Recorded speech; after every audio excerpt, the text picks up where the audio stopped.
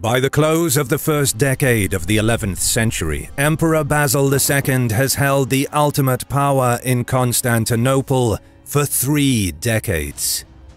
In that time, he pushed the Roman Empire's borders back to their ancient line on the Danube River, entering places where the Roman standards have not been seen in centuries. Simultaneously, he has campaigned in the south and east against the Islamic caliphates. The realm was at its greatest size in almost 400 years, and its treasury full due to prudent economic policies.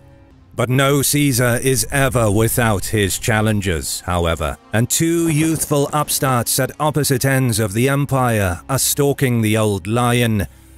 A man so noted for his prowess in battle that he became known as the Bulgar Slayer.